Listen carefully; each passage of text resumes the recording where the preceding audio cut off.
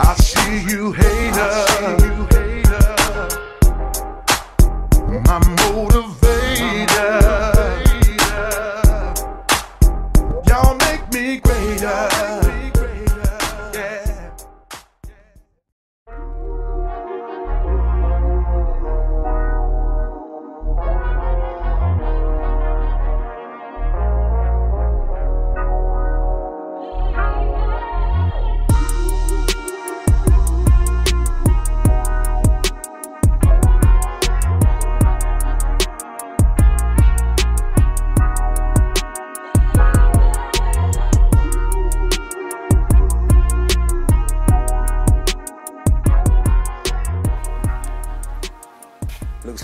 Some more fiberglass, y'all.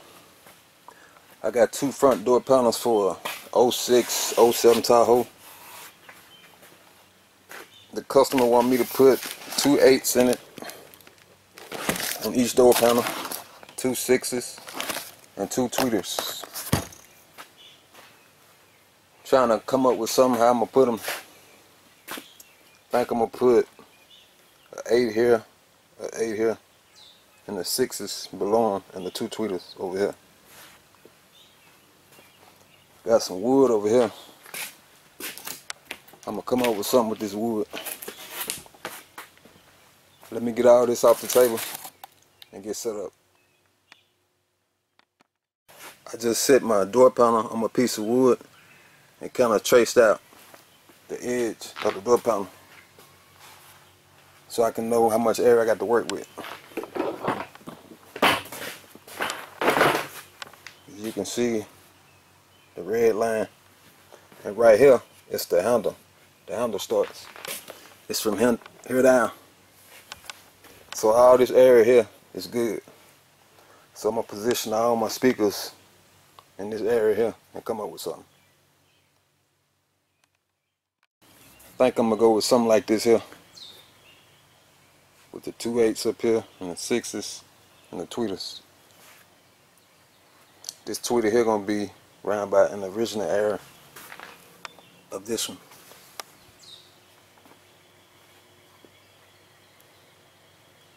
So what I'm gonna do now, I'm gonna go ahead and cut the holes out for him.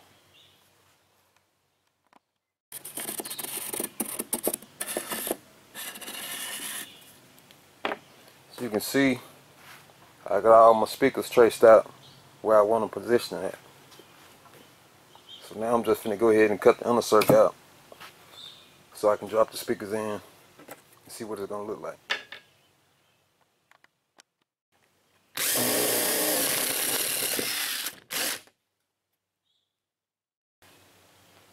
This is what I was going for here. Now I'm finna go ahead and form it up how I want it around the outside of it. Something like this. Then I probably draw a circle and another one here back up in here.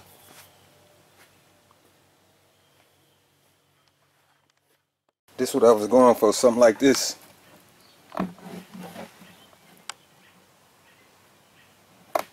It's gonna be something like that.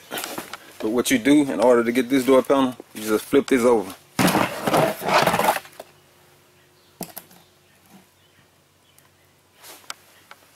Just take it up here on your wood.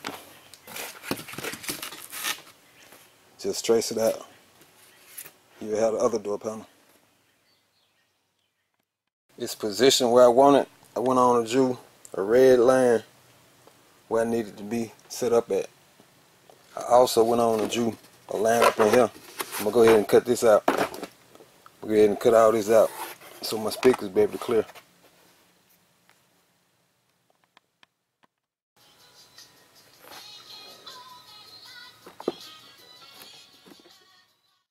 Set up like I want it now. I know it look kind of crazy right now, but once I put that fleece on it, it'll start taking form. I got some legs along the bottom of it. I just got them now until I fiberglass it. Once I fiberglass it, it'll be strong enough by itself. I cut the legs out of this. I just hot glued it.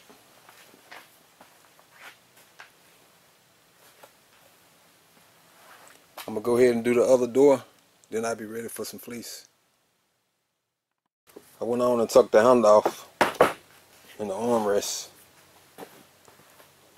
It'll make it a lot easier to, you know, separate this part from this part. Because I ain't gonna do nothing to this part and I don't wanna mess it up. But I got both door panels ready to be fleece. You're gonna need you some Loctite. And here go the fleece here.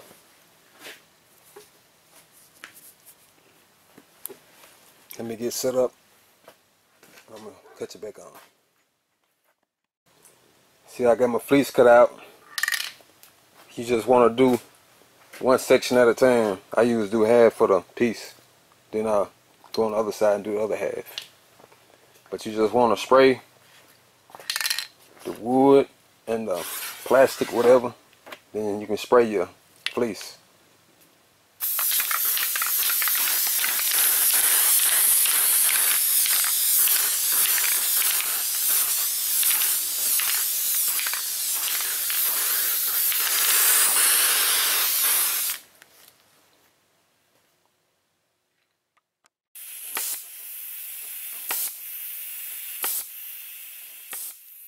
See, I'm finishing up on the stapling. I just stapled around the edges so it won't lift up. And like around this here, around this curve. Once I put that first layer of resin, I'm gonna go ahead and cut this. I want to keep that curve there. That's why I stapled it. But everything else should be good. I overlap the ends.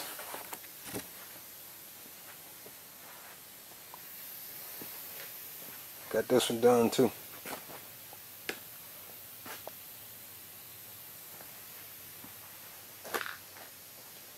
Once I resin it and cut these speaker holes out, you'll get a better idea of what it's going to look like.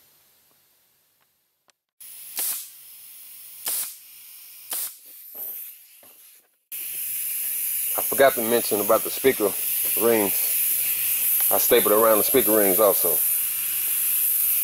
Plus I changed this up a little bit too. It was coming straight down, but I decided to put this in it. Did it on this one too. I just got to staple around these speaker rings. Then I'll be good to go for the resin. Time for the resin. Got some fiberglass resin. I already got it mixed up in my paint cup. And you need a chip brush. Pretty simple. Just brush it on the fleece.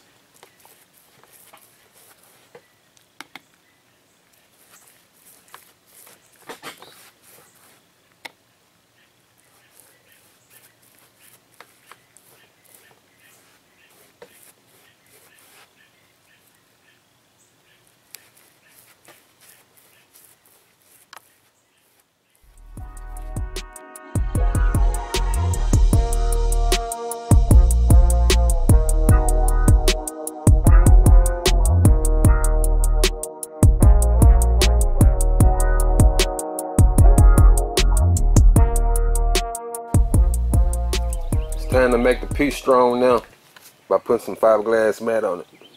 I had already put some resin on it. So I got my fiberglass mat over here in pieces.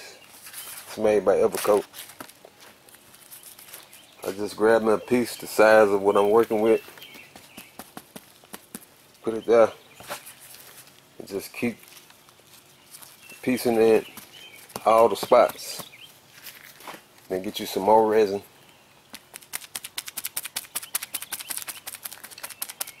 And cover it up with resin. Just keep dabbing it in.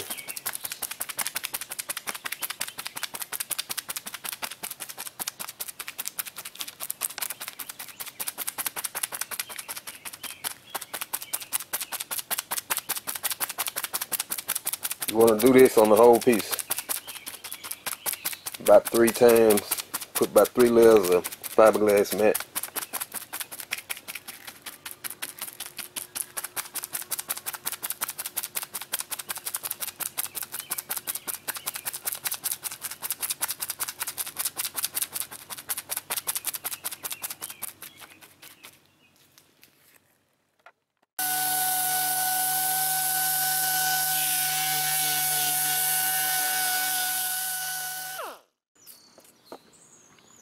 trying to wrap up my sanding. I got the 5 inch DA sand out. As you can see, I done knocked down most of it. I still got to cut out my ends of my fleece and cut my speaker rings out. I think I'm finna do that now. Then I'll be ready for some filler. I still got to do that one over there too. But I'm gonna go ahead and finish this one up. I got some 80 grit on the DA, but I'm knocking it down with. Got the openings cut out to my speakers.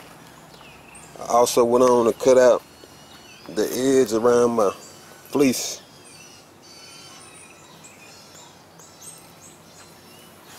I got it knocked down enough to put some fill on it. I was gonna spray some fill on, but I think I'm gonna make up some rondo so I can brush it on. If you wanna know how to do the rondo, check out my video, how to make rondo.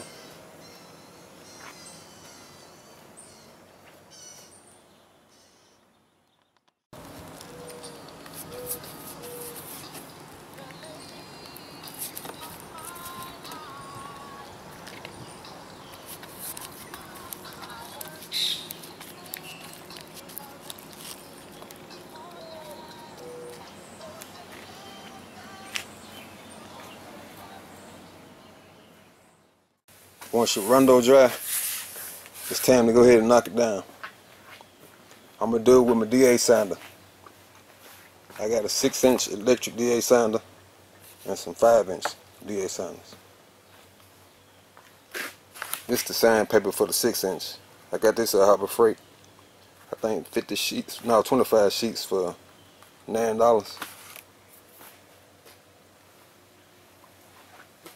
But this top layer of the rondo it's gonna be kind of sticky and it's gonna clog up your sandpaper. But once you get through the top layer you'll be good.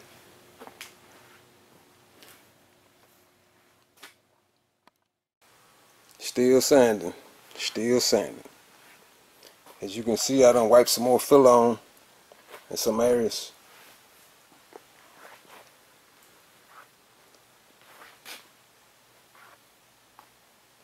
trying to get as smooth as I can. Because if you don't it's gonna show once you paint it and put that clear on it. But I done got the biggest parts knocked down. I'm just going back touching up the spots that I seen need to be touched up.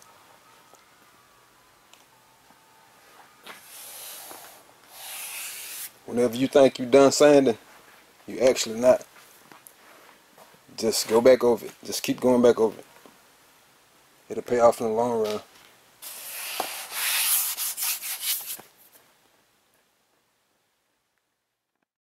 You see this spot here where the fleece meets the original panel. I'm just going to get some fiberglass filler, mix some up, and bevel this off with my hand, with, with my finger. But this area here, it's going to be covered up with the handle and the armrest. But here, I'm going to have to do the same because it's going to be showing. See, that's the fiberglass filler. I just wiped it with my finger. When you're doing this fiberglass, it's going to always look ugly in the beginning. Don't get discouraged. Just keep on moving. And it'll start taking shape towards the end.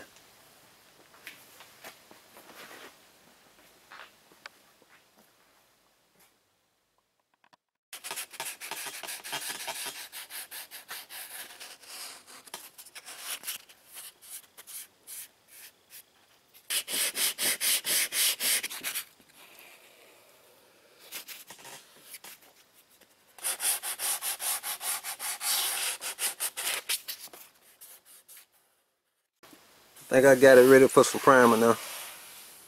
Both door panels. I went on and took my masking tape off. I'm gonna remask it because that masking tape that was old. Probably had a little tear in it on some spots. So I ain't want to get no primer on this here. So I'm just gonna remask this. but I beveled around my edges off.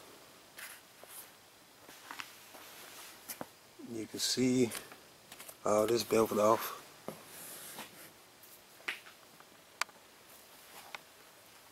I had to retouch my tweeter holes, redo them because the mountain holes wasn't lining up. Well, it was lined up, but some of it wasn't straight, and you probably weren't gonna hit no fiberglass, so I had redone it on all of them.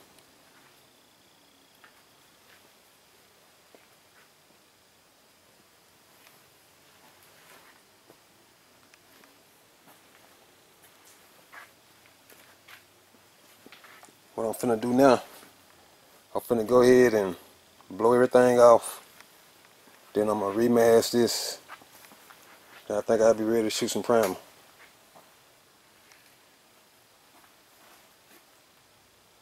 I had to cut this backing out too because the magnet was hitting the back just on this one.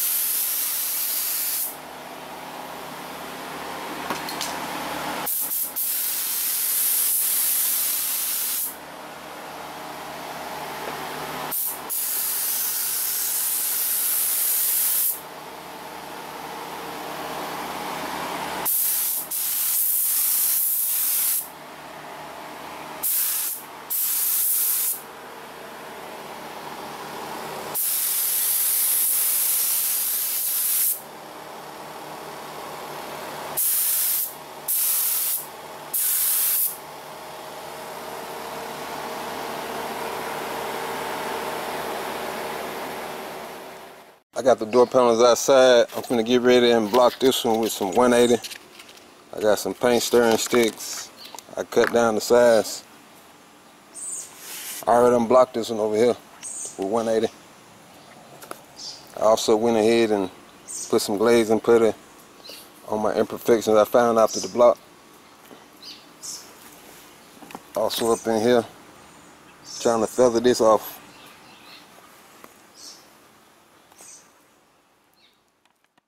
Think I'm about ready to go ahead and spray my final round of primer now. Got everything sanded down, remasked some of the spots on both door panels. Let me go ahead and mix up this primer and I'm gonna cut you back on.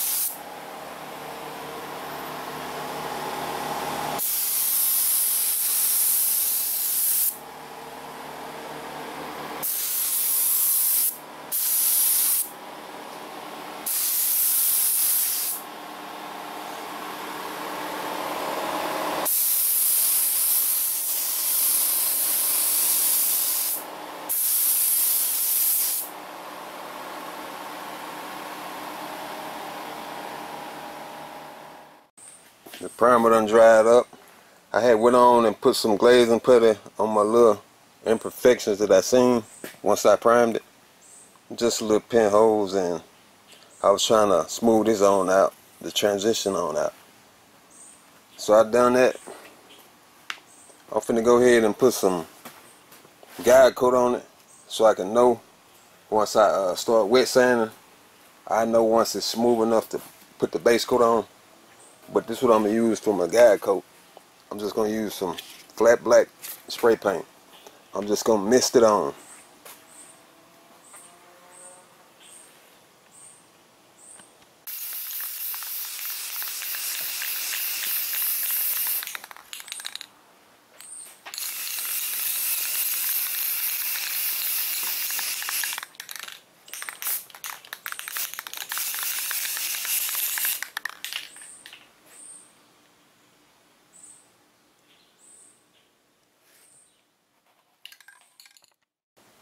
Once you get through spraying the guide coat, you want to get you some soap and water and some 400 grit wet sandpaper.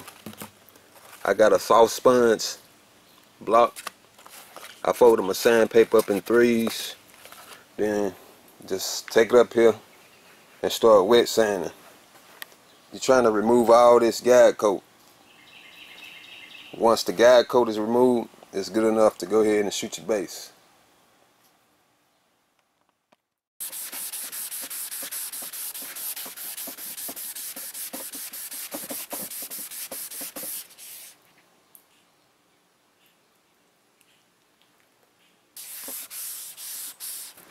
Once you wet sand a certain area, go ahead and get you a rag, squeeze it out some, and just wipe the area you done done so you can inspect it. The only thing you want to see is the gray primer. See, that's good. See, I hadn't even wet sanded this part here yet. If you see some black, that means you got to come down some more. Like here. This spot here was a little bit lower. So I didn't reach the black paint. So I got to come down some more.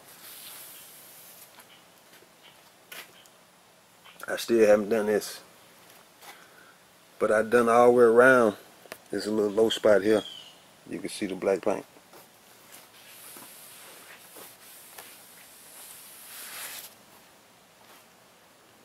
I haven't done this. I started right here. Just got to work your way on around. The panels back in the booth. Both of them been wet sanded and taped up. I'm ready for the base coat now. The base coat is going to be a jet black.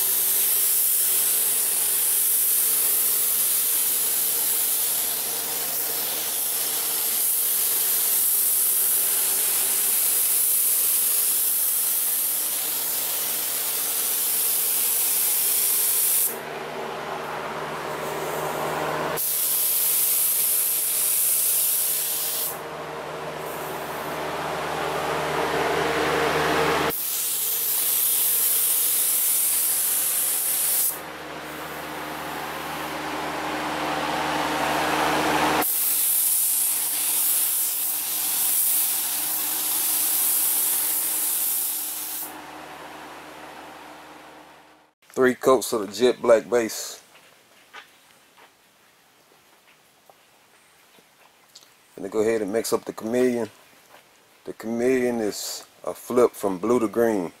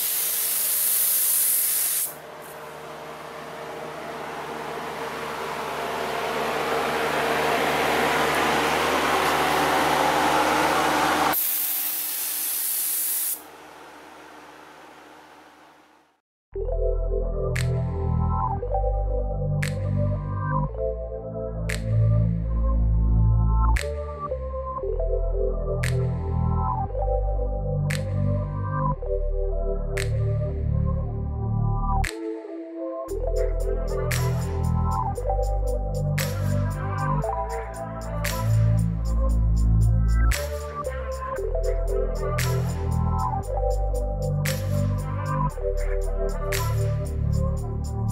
you.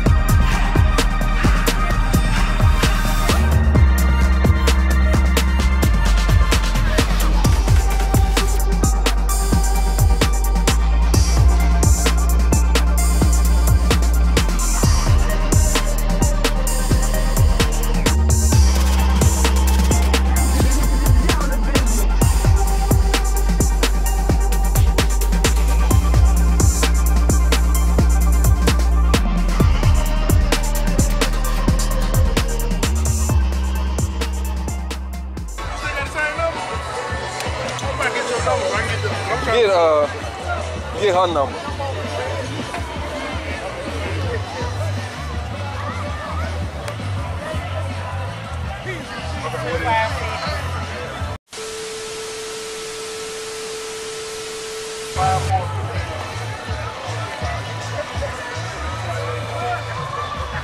Yeah, I've been, like I said, I've been trying, I want to get my back door done, but I want to put uh, tens in it. Yeah, I've been trying to find videos of this.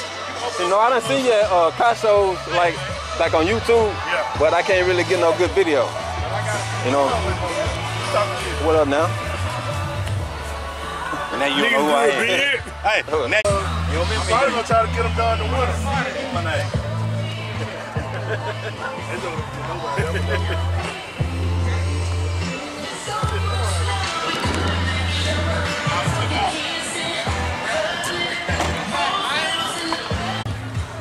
go 415. You ain't playing this.